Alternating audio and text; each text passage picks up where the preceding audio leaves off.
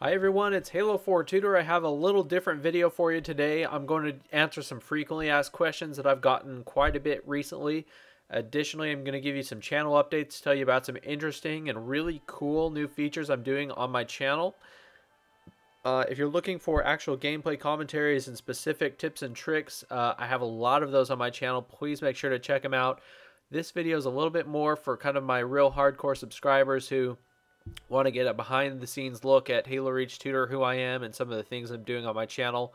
Uh, but if you're just looking for some quick tips and tricks and gameplay videos, I've got some great ones on my channel. So here's the link. Please check them out.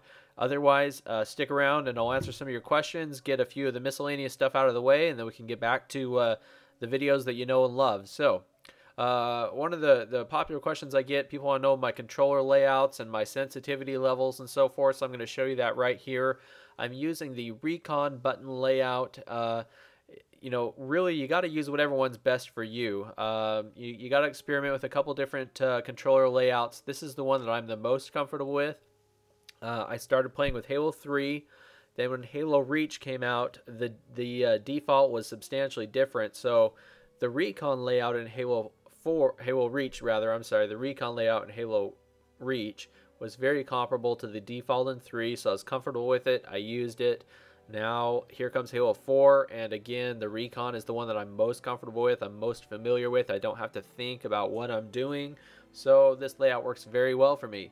Is it the best layout in general? No, probably not. You might want to try the default layout, the bumper jumper, whatever works for you.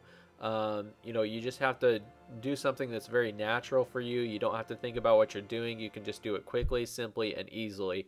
For me, it's recon. For you, that's for you to decide. Um, I don't invert uh, look sensitivity. I go with a 3. This is fairly low. It's the default setting. Um, you know, I have pretty shaky hands. I'm not that steady, so the 3 works very well for me. Uh, if you don't know what works for you, I'd ex- I would experiment with a few different numbers, probably something between a 3 and a 6 or a 3 and a 7.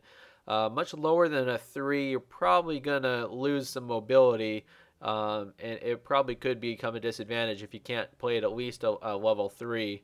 Um, now, above a 7, that's pretty insane. I don't know very many people that succeed playing on that high of a sensitivity level, but it is possible. Uh, but but I think that those who can do well at a 10 know who they are. So if you don't know what your level is, don't go to a 10. Try something between like a 3 and a 7 and kind of experiment around a little bit. Uh, I like the toggle crouch just because when you crouch, you're off the radar. I like to get off the radar and still have the ability to move around a little bit without keeping my finger on the button because sometimes I slip and I lift my finger off the button and I uncrouch accidentally. So I'm a sneaky beaver. I like the toggle crouch. If you're a sneaky beaver too, you probably would like the toggle crouch but this is not the most popular default. Most people like the other one, which is uh, hold to crouch. Uh, I'm, I do not like that setting, so I'm going to leave it on toggle crouch. Um, really quickly, let me go into the customized Spartan ID because I see a lot of people mess this up, as difficult as that is to believe. My uh, service tag is HART, H-A-R-T, which is short for Halo Reach Tutor. I played under that tag for a long time. Now I'm Halo 4 Tutor, but I still like the service tag and I'm going to stick with it. My emblem is typically a heart, but right now I don't have the heart unlocked, which is really annoying because I'm stuck with these dog tags, which I don't like. But, uh, you know, hopefully I can get that heart unlocked soon. I can rank up and get the heart. So that's what I go with. The thing with the service tag is this is the tag that people are going to read when they're in the game. And you need something that's very quick and easy and readable, okay? Heart, that's one syllable, very quick and easy to read. I see a lot of people doing something stupid like L7S0 or whatever, like something that doesn't make any sense, very difficult to read, you can't say it. And I'm going to do a video on communication later, but I'm just going to say now you need a tag that people can read and understand and talk to you very quickly and easily, okay? Do something that's like one syllable, you know, mostly uh, characters, uh, letters. Uh, try not to do a lot of numbers unless it like looks good. Uh, and so anyway, just do it quick and easy and simple so other people can read it. Heart, Mat, Halo, things like that. Those are all very good service tags. Um, the other mistake I see people make, and I don't know why they do this, but I see a lot of people who have all the same service tags as all their friends. And this is ridiculous because when you're playing together, you can't talk to each other because you've all got the exact same name and you can't call somebody out and warn them about a player or or tell them where a weapon is or t- you can't communicate at all because you've all got the exact same name. And so it's absolutely preposterous to have the same service tag as all your buddies. So don't do that. That's that's totally noob. Um, i'm going to go over my loadouts very very very quickly here. People just want to see what they are.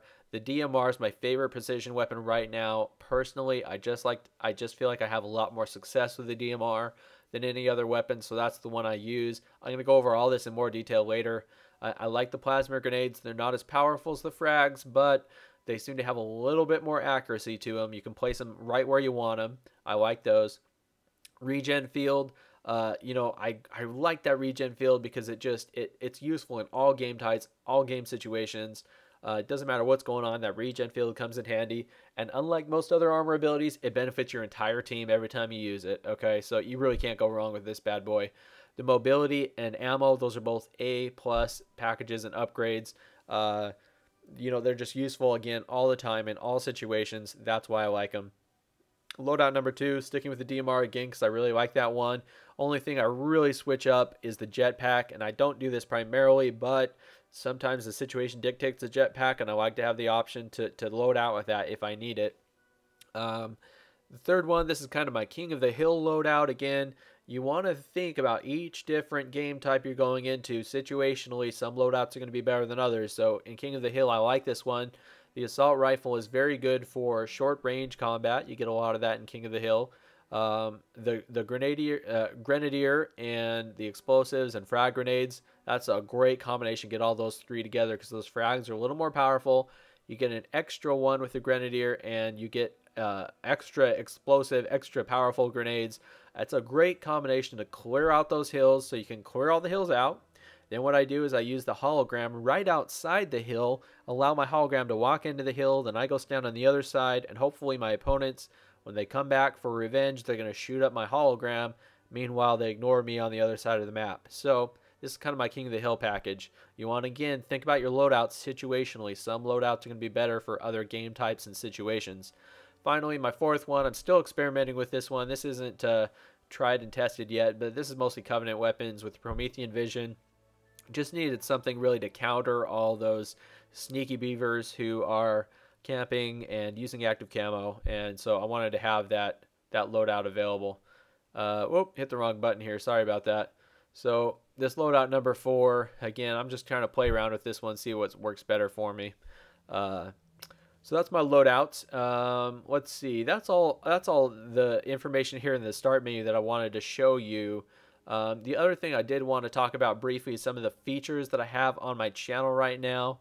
Um, I, am going to be doing some spotlight videos. I've done these in the past. They've been uh, very exciting. They've been very successful. What these are is uh, I bring in videos from other people's YouTube channels. I share them with you on my channel, and I do this because I like to expand the minds of my loyal subscribers. I believe I do put out some great videos. I really think I do, and I get some good feedback. But there's other people out there who make some fantastic videos, who have some terrific ideas, and I really just like to share those with my viewers when I come across a really good one. So sometimes I upload on my own channel with their permission, and uh, it seems to be a really successful win-win situation for everybody. My viewers win; they get to see great videos. I win because I get some great videos on my channel, and uh, these contributors win because they get a little bit of extra exposure and they're able to share their tips and tricks with a larger audience. So if you see one or two videos, usually put up about one a week. It's not my voice. Don't be alarmed. My channel has not been hijacked. I'm just uh, sharing the, the the videos with with my audience. If you like them, and I think you will, then leave a comment, to leave some feedback so that I can continue to, you know, provide the very best spotlight videos. Um, you know, I've got some great, really great feedback in the past. I have some great ones lined up in the future, so please check them out. Let me know what you think. And uh, I screen these. You know, I make sure only put in the very best videos. I think you're gonna like them. Uh, secondly, uh, I do an open game night because I get a ton of friend requests, guys. I get a lot of friend requests, and I really appreciate your loyal subscription. I appreciate, uh, you know, that you, you want to be my friend and play with me. I really do. I just I have a pretty tight knit, loyal group of friends that I, I stick with. I don't have a lot of room for a lot of new friends, uh, especially. I mean, I just can't possibly play with everybody that wants to play with me, unfortunately. So what I've done, I've, I've done, I started an open game night where about once a week, you know, I'll announce that I'm going to be holding an open game night, and basically anybody can join, anybody can play with me and my friends. We have a lot of fun. It's always a full team, and we play a lot of different game types, and it's just absolutely a blast. And anybody can join in and play with me for an hour. So, if you want to do that, if you're interested in playing with me, uh, uh, just make sure to keep an eye out for those announcements on my channel. They come about once a week. You can jump in and play with me during open game night. If you send me a friend request, it's nothing personal. It's most likely going to be rejected. Okay, nothing personal. I just don't have room. Uh, so that's about it. That's my channel updates. That's some of the news, the frequently asked questions. If you have more questions, please keep them coming. I love to hear feedback. Uh, you know, if you're still here and listening, I appreciate uh, you sticking around for my diatribe here. I just kind of wanted to pack a bunch of miscellaneous random stuff into my uh, my video here, like a one-time shot to answer your questions, give you updates.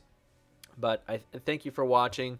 Please continue to leave comments. Uh, please check out my channel. Got a lot of great uh, content already there. A lot of great content on the way. Halo 4 Tutor, thanks for watching. Signing out. I'll see you next time.